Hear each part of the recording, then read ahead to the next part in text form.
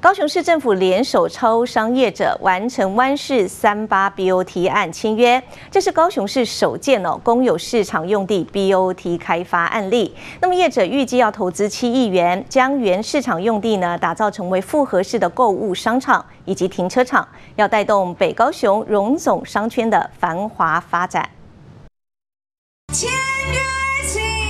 在副市长罗达生的见证下，金发局长廖泰祥代表市府与统一超商完成签约，即将携手推动湾市三八 BOT 案。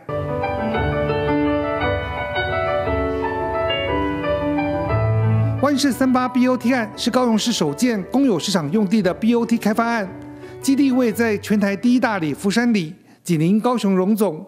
统一超商预计投资七亿元，新建复合式购物商场及停车场。渴望带动荣总周边社区多元生活及商业服务。等到我们的这个营运的时候啊，那正是啊用这样的一个面貌来展现啊，让我们整个啊福山里啊或者我们整个左营区的我们的消费者好可以有一个更好、更优质的一个购物休闲的一个环境，包括很多好的一个停车的设计，让这个地方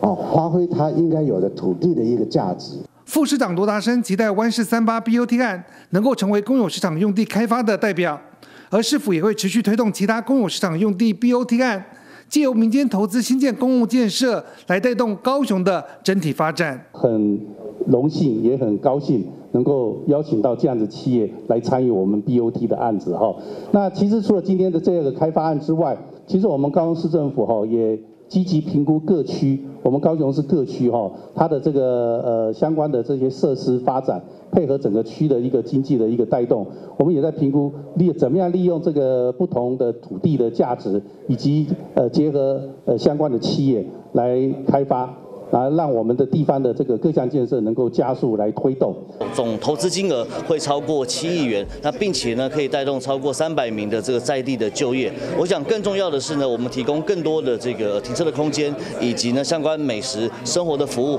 不仅是服务周边的这个里民居民，我想也可以让我们周边最大的邻居呃荣总有一个更好的合作伙伴。金发局表示，湾市三八 BOT 案将是一栋地下两层及地上六层的建筑物。除了规划停车场疏解当地停车需求，也会引进多家商业品牌，来满足荣总周边居民的生活购物及游憩休闲，期盼打造成为高雄最具指标性的复合式购物商场。